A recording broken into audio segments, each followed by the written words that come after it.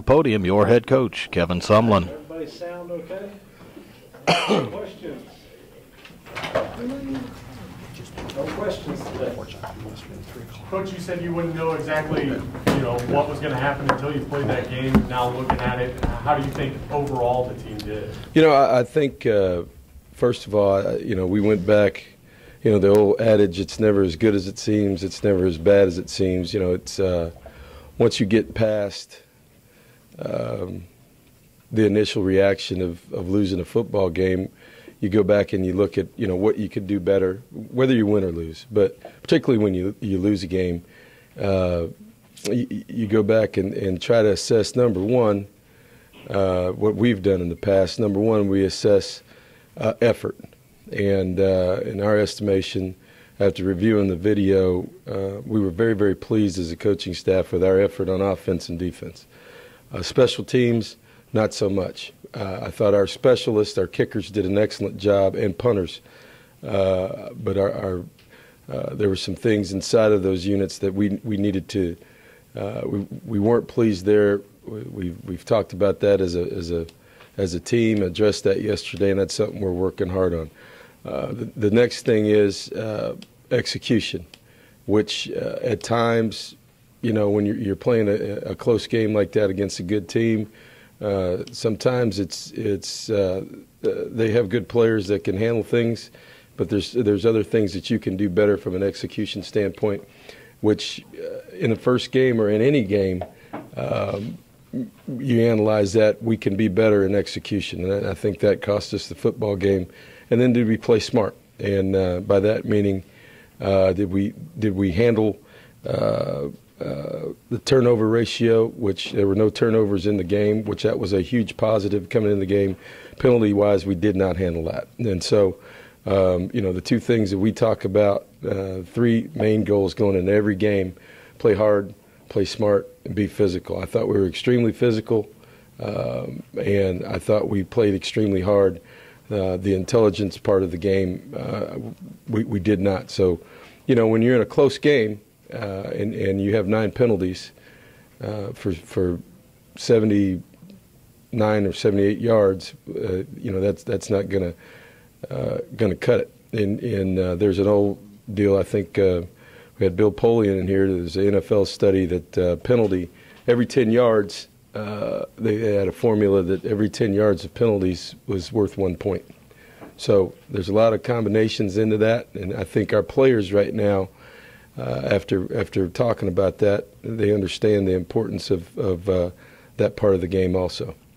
And, and, as I said, you know that was an emphasis coming into this year, turnover ratio and uh, penalties. And so we got one of them done Saturday, and, and really one of them, the other side, may have cost us the football game, which was another learning experience. looking back on the tape, uh, how would you assess Johnny's performance? I, I thought Johnny, uh, you know, for a a first start, first uh, for a freshman redshirt freshman, but to start against a, a team like Florida, uh, a defensive team like Florida, uh, I thought he, he did he he performed well. Um, I, I, think you know the first thing you worry about with a new guy is turnovers, whether it's uh, um, you know whether it's quarterback, anybody who's handling the football, and, and not just not just him, but a number of our freshmen who handle the ball you know, we we put Trey Williams back there as an opening as a kickoff returner, and and those guys handle those situations well. Uh, but you, you, worry about ball security, you worry about decision making, you know, and and to that point, you know, we've been harping on. It. I think everybody saw the difference between him in the spring, uh, and, uh, and, and in a game with, and and and things speed up when, when you play a game. You know, you look at both of those quarterbacks during that game, and um, neither one of them really took a whole lot of chances. You know, Driskel took took some sacks and just hung on to the ball instead of throwing it up. Uh, and I think Johnny was a little bit closer to the vest too. And uh, but that that's that's something that uh, was a lot different than than he was in the spring. And as experience comes, you know, he'll he'll be able to sit in there a little bit longer, maybe go through and read things out a little bit more look down the field a little bit more. But uh, from from our standpoint and from um, you know he, he goes he we have gone back and looked at the video. He understands where he can get better, and and I think that's the main thing to take from Saturday. You know, I, you know, after the initial reaction, as I said, you come back and look, and and uh, when you when you watch the video, and uh, you, you realize, you know what. Um, when you're playing a top 25 team, here are the things that you, you can't do to be successful. But also, uh, there's a lot of room for improvement. And uh, that would be the concern. If there wasn't a lot of room for comp- improvement, and, and that was the case, then it'd be pretty depressing. But from, from that standpoint, uh, I think our team, not I think, I know our team sees that, you know what, we can play better than that. And uh, that to me is exciting. How would you assess the play of your uh, defense and defensive line in particular? Uh, I thought uh, coming into the game, my two main concerns, which I think were everybody's concerns, were our kickers, punters, snappers, and our defensive line. And you leave out Saturday saying, you know what, uh, our, our kickers made every kick our punter, our net punt was 49 something, and our defensive line, you know, really did a, a, a pretty good job of containing their run game. Uh, and, and uh, you know, I, I thought, uh, you know, when you, you start a true freshman at defensive end and, and a couple guys that were, were concerned about their size and their, you know, their productivity from a from a uh, uh, the way our defense is set up, they're able to, to keep Jonathan Stewart clean to be able to make 17 tackles, and then to rush the passer the way they did without you know a whole lot of blitzing. Um, I, I, thought that they did a, a, a, nice job, and and I think you know what's important is guys like. Uh, you don't have to worry about Damontre Moore having confidence. I'll put it that way. You worry about uh, some of these other guys, and and I think you know Julien Obioha comes out of that game you know, thinking I'm playing my first game uh, against Florida as an SEC game, and you know, I watched him in practice yesterday. He's a different guy. He he now knows, you know, you know what? Guess what? I just started and played uh, 60 plays or 50 plays against Florida, and and uh, you know, I'm ready to go. And, and and that's one of the things, one of the steps that happens with freshmen, and I think our our D line can gain some confidence in that instead of being, hey, I don't know what's going to happen and our kicking game instead of saying, hey, you know what, we, we performed well, now that's the standard, let's go. How, much, how important is it for a guy like your middle linebacker, Stewart, to lead by example with 17 tackles like that? I think it's important. I think it also uh, it, it lends confidence to. There's a reason that he's doing that. You can't make 17 tackles if there's somebody blocking you all the time. So you know, I think that says something too about our defensive front. Uh, the the ability for them to take up blockers to to to to hold space, to to do a lot of things, and and uh, um, you know that that all works together. It's kind of like a running back in, a, an offensive line. You know, you can be a really good linebacker, but there's somebody all over you all the time. It's hard to make tackles, and and I think for him to make 17 tackles is that's that's. Uh, that's that's great for us and great for him, but that also says something about the design of the defense, and, and, and that means there's a bunch of other people doing their job. Coach, were any guys that jumped out to you when the lights came on, they really stepped up their game and maybe earned their way, you know, more, more plays? Uh, I don't know. I think uh, you know it, it's pretty much the way we've seen it in practice. You know, I think if there's anything, there's some guys out there that uh, um, you know, from a personnel standpoint, that we learned some things about that that may may not be ready to play, and uh, you know there might be some changes, particularly special teams wise where, where there's some guys in coverage units that uh, that uh, you know didn't weren't quite doing what we think they need to do. Uh, but as a team, you know, I think uh, you go back and look at who played in the game. We rewarded the people in practice, uh, rewarded the people playing in the game who who who practiced fairly well, and I think. Um, from that standpoint, you know, there's there's guys that got to get better. You know, there's there's no secret. We've got to tackle better on the perimeter. We have young guys out there. You know, you had Deshazor and Devontae's first start. Uh, uh, coverage was pretty well. Gave up one one big ball, but you know, uh, one deep ball, which was a big play in the game. But uh, you know, we've got to tackle better on the perimeter, And the league we're going into, the league we're in now, um, they're going to force your corners to not be finesse players uh, and cover guys, but they're going to have to be physical guys and, and, and they're going to have to tackle. And so that's a point of emphasis this week that. Uh, um, uh, and, and we'll get some more guys involved. You know, that's a uh, uh, we got a number of guys back there that are capable of, of doing that. And if there's one thing that, that we've got to improve in, I think uh, there's no secret that we've got to tackle better on the perimeter. I thought inside, you know, our guys did a pretty good job from a linebacker, um, uh, D line standpoint. But uh, on the perimeter, we've got to be better tacklers. I thought they covered pretty well. You know June and his staff from Phoenix USA. Now Jason Phillips is there, so there's so much familiarity. Does that help with game planning at all, or affect what you do? No, it doesn't. Just because I just because I know June doesn't really help me do anything. So he knows me too. You played them the last four or five years. Yep, this will be five years in a row. Well, and now you're a former coordinator. Yeah. Is coaching for them, so I didn't know if there was anything. Well, it, if, if it, there. well, it should help him more than it helps me. He- He's got the the spy. You know, I don't have anybody on his staff that works here, so you know I, that works both ways. You know, June is a June is a friend. I have a lot of respect for June Jones, and and here's a guy who uh, has coached in the NFL. Here's a guy who's taken a non-BCS football team to a, BCS bowl game.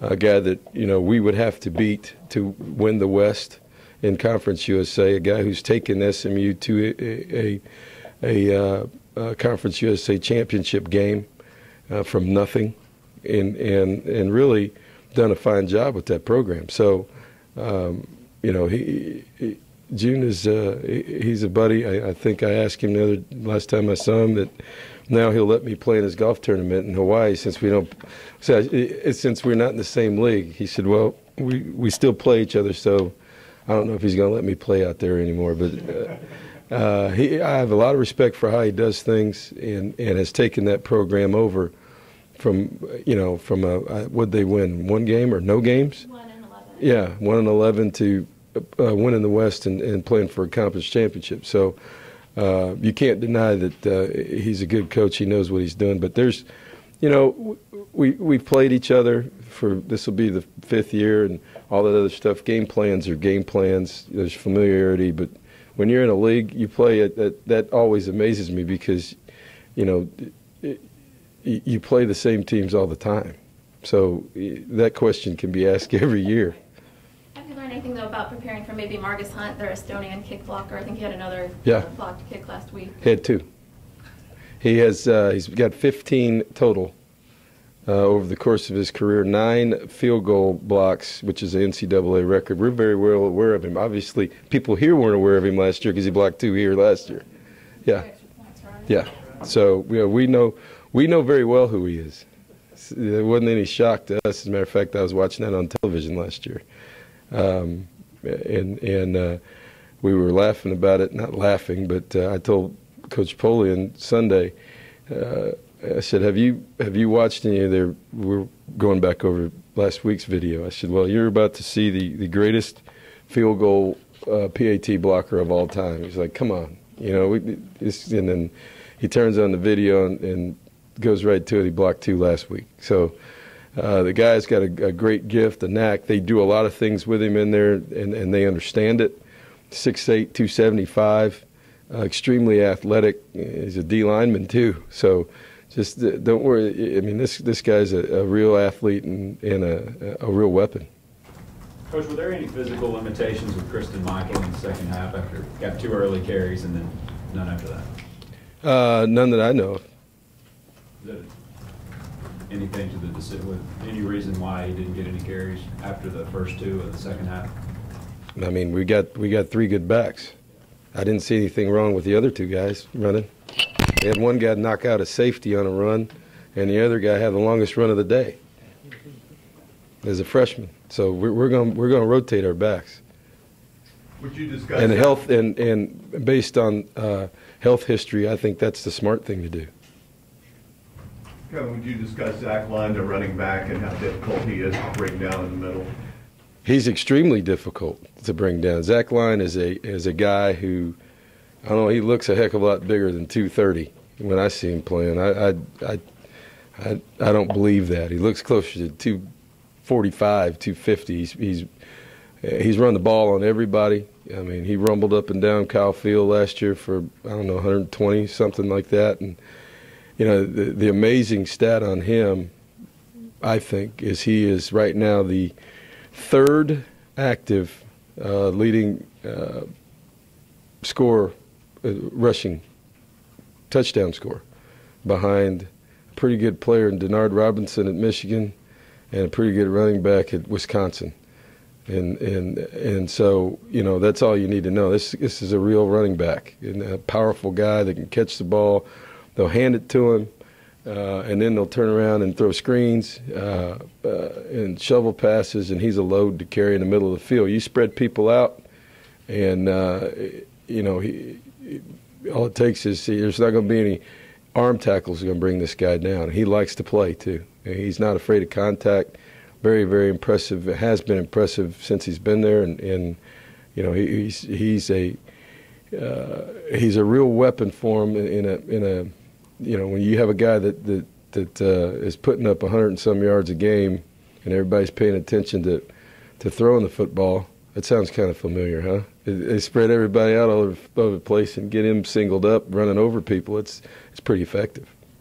His defense, they had 10 turn, forced 10 turnovers, seven of them interceptions. What were they doing exactly that rattled that quarterback so much? Just playing defense. Playing defense, nothing. Is that a, that's a that's a uh, that's some kind of record, I would think. Yeah, tied Conference USA. Yeah, ten turnovers, something I've never heard of.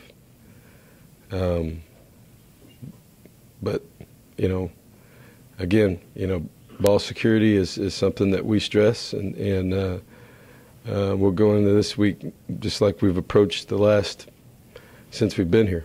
You know, like I said, I think the two things that, that we've tried to address daily. Uh, one thing we got done, obviously, uh, and, and the other thing we didn't was penalties, and and um, that, that's an ongoing process Johnny also, just looking at the stats, he distributed the ball well. I think he had nine different receivers. I mean, did you give him high marks for that? Well, I don't know if that's high marks. That's just kind of how we've always done things. You know, we've we're going to play a lot of different guys, um, and you know, try to keep guys fresh. But uh, you know, we you know, the better your football team, the better the teams that I've coached. Uh, you you've got more than one guy that's that's pretty good. And, and uh, so the better we are, the more numbers you're going to get uh, of guys touching the ball. You talk about Mike Evans, the way he went out there and was able to go up and get some balls and play the way he was. No, Mike has been doing that since we've been here. You know, here's another guy. This is his first start. He played one year of high school football, and uh, um, redshirted last year. Uh, he's very, very raw, but you know, he's six four, six five big guy, uh, great basketball player in high school, tweener, you know, which means when you're six four, six five, that means you got no jump shot. That's what that means. so I give him a hard time. That means you're a post guy. So you know that's what it, that, when you use the term great basketball player at six five, it means that's what that means. You can't shoot a three, and you can't defend on the floor. So you play football, and and uh, but what he does give us is a big threat.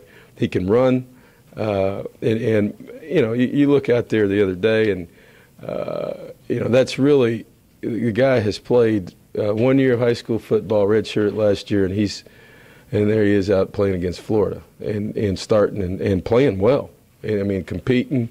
Uh, you, I go back and watch the video. The receivers uh, block like crazy on the perimeter and uh, and competed with those guys. So th- that's what I'm getting at. I think I'm encouraged by you know the young guys and the old guys. You've got you know Easy and, and Swope and and uh, uh, LeKendrick, but you've also got Thomas Johnson and and, and uh, Mike Evans. You know to look to in the future, and those guys we don't skip a beat by running those guys in and out of the game. What do you see on film that minimized the impact of Swope and, and Easy on Saturday? I don't know if the uh, compared to what. Just, I mean, just, uh, I know Swope got, a you know, a few catches, but just didn't seem to have. Uh, There was a whole lot of people that got a few catches. Yeah, So it wasn't just the minimization of those guys, but those being guys that have been proven, been played before. but they weren't playing in this offense. You know, I, I would say this that uh, you know the opportunities that we had to do things. Um, um,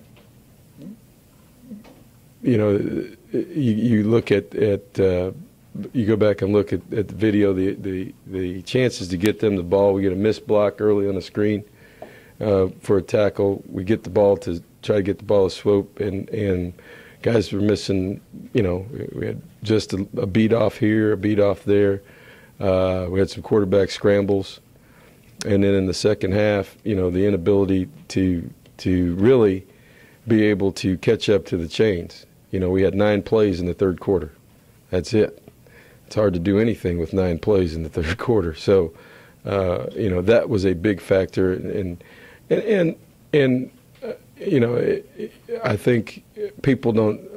When you, you look at offensive football the way we are doing it, the way we do it, um, we do look at a list and try to get people the ball. But in, in, in all actuality, and Sam, you know this from, from, from Houston, it's a progression read. And so, based on your defense and based on what's happening, you're going to have some guys have big nights and, and, and some guys won't. What did, what did Trey Williams show you in the handful of touches he got? He, I mean, he's a good player, and that's what I think. To answer Gabe's question, it wasn't uh, as much uh, Christine Michael as it was. I think you go back and look at at uh, at uh, you know per carry averages.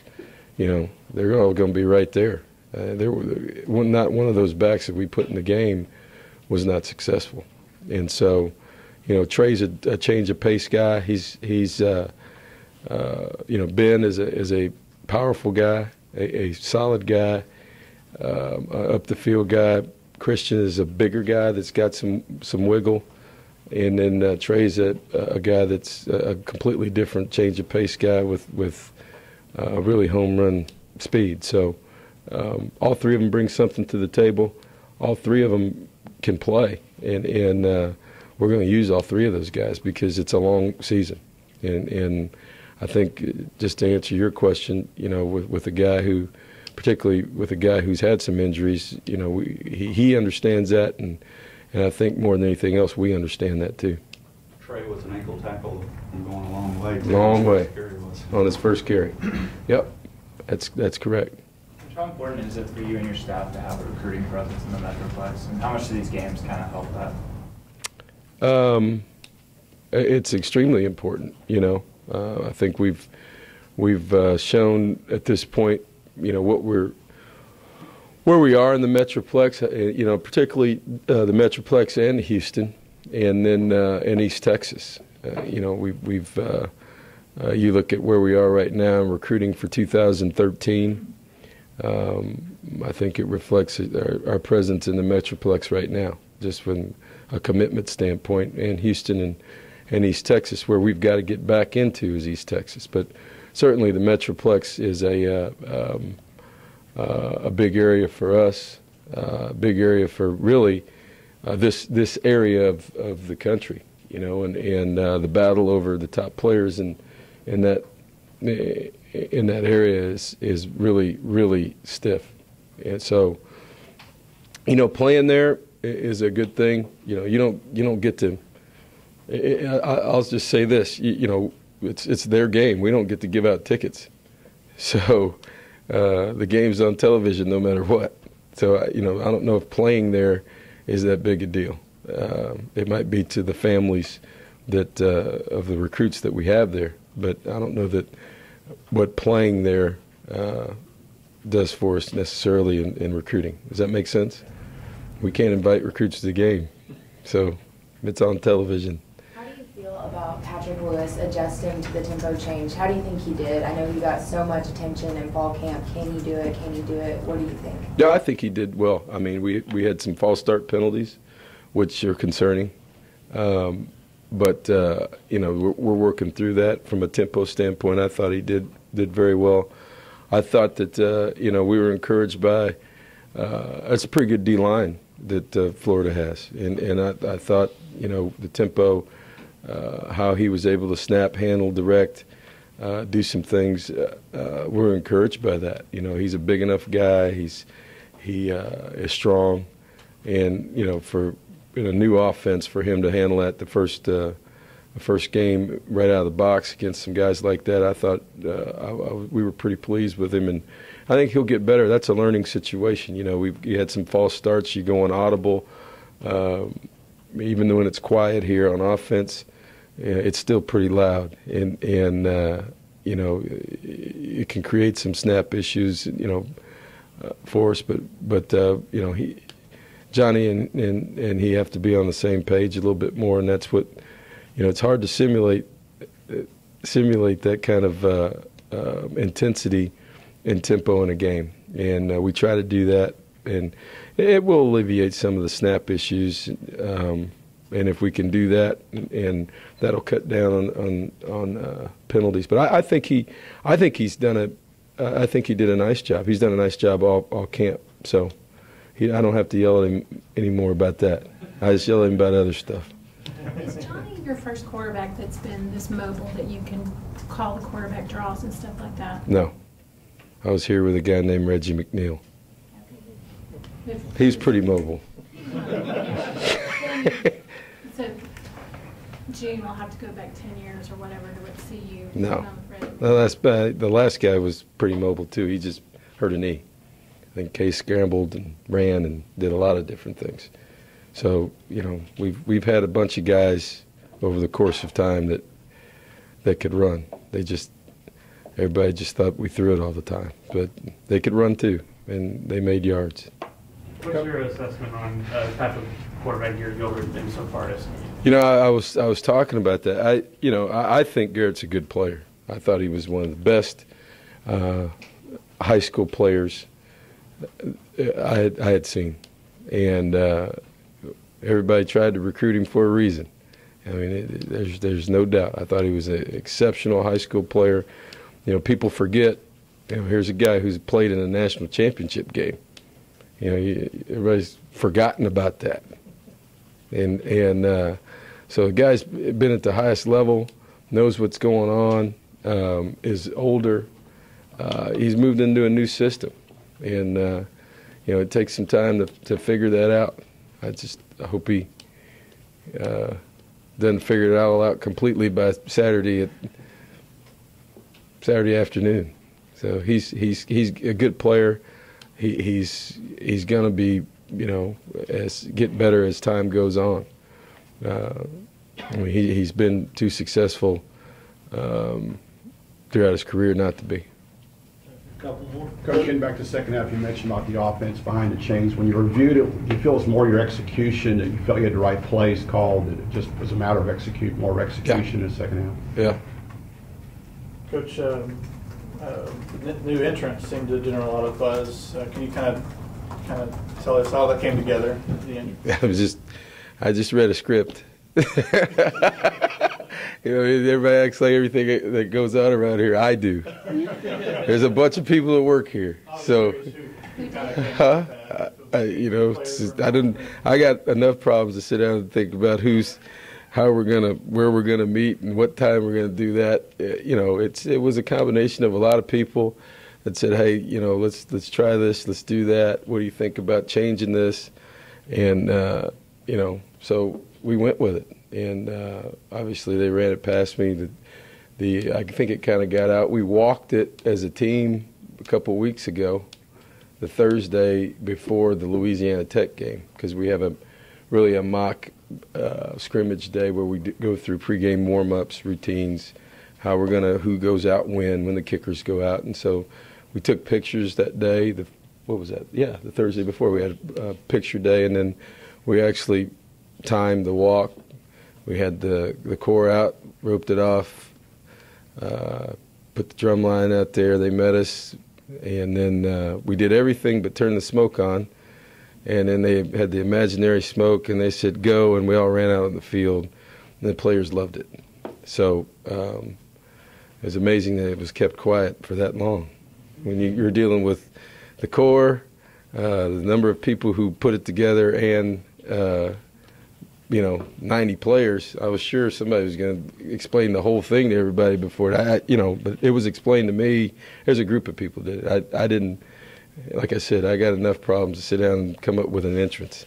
You did, you did a good job of keeping your feet too, didn't you? I was really close. I was really close to uh, going down. To you know, and I, you don't have there's, there's there's no motivation like knowing that there's 80 guys behind you, and who will not see you. And and national television, uh, it would have been ugly to get trampled in my first entrance. So we we will reinvestigate that part. Actually, that's a that's a good point because I, I'm I was sure somebody saw that. Um, I'm I'm a little less athletic than Damontre Moore and Johnny Manziel, who were just jumping and pushing me over. So I'm gonna I'm not gonna run out first anymore. A lesser athlete would have went down. Lesser athlete would have went down. That's true. Between not being able to see with the smoke and then those guys, uh, had, you know, I had some energy and I thought I was running, but th- th- thank goodness they're they're a heck of a lot faster and bigger than me. So uh, I will not be running out in, anymore in the front. That would be trouble if you were out running then. Yeah, yeah. Well, yeah, it would be, but I, that that's going to change. But I, I think I think the you know I don't know. I haven't got any. I get a lot of emails from people who, but I haven't had any about that that that they were.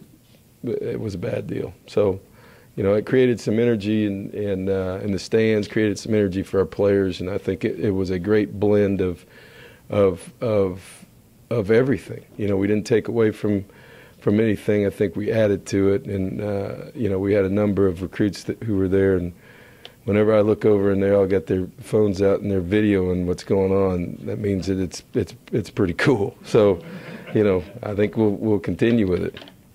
Anything else? Well, you called it the elephant in the room on Saturday, and of course, there's been a lot of talk about not being able to close out games last year. With that, if that had anything to do with this year or not, I don't know. But But had- you just asked the question. You had talked to the team about it, the all fall camp, about addressing some of the problems from the year before. We talked about the conditioning aspect of it and the mental aspect of it. So do you do you do something different? No. Do you, you continue to talk about it? Yeah, we we continue to practice. Do you think it's a mental thing though that's that lingers? I don't know. I like I said, I wasn't here last year. I know from a conditioning standpoint, we you know, there's no way Damontre Moore could have played every play but five plays in a game like that. And uh, you look around, it wasn't our team flopping around on the field in the second half. So it's not that that's not it. We we didn't make enough plays to win the game. Our defense, uh, it gets down to this. Our defense. Um, stopped stopped and gave us four opportunities to win the game and we couldn't. That's what happened. Right. I'm just wondering if, that, if they No, that's that's it. I, you know, I ask every one of them, is that what you're thinking about? Because that's not what I'm thinking about. You know, we played one game this year, and I think our guys played exceptionally hard against a good team. And in a close football game like that, um, you got to make plays at the end to win. And our defense made, had four stops. We couldn't move the ball. It turned into an SEC football game. Uh, maybe a first down, maybe not. Punt it, and field position changed, and and and we gave up one. So, you know, from my standpoint, um, I'm looking at it as one game and what happened in in that situation to win the game. And and and from from my standpoint, our defense gave us an opportunity to to win, and we, we couldn't we couldn't get it done. And and so it all works hand in hand. It's not one thing, uh, but from an effort standpoint and uh, uh, how we did things, that's why I said you know I think uh, somebody asked about you know what was happening. You know we couldn't we couldn't get it executed, and you know you, you got to give Florida credit on that too. They they played pretty good too. Since you brought it up, that flopping around, do you feel that that was Florida's conditioning or anything else? You were there. All right, that's.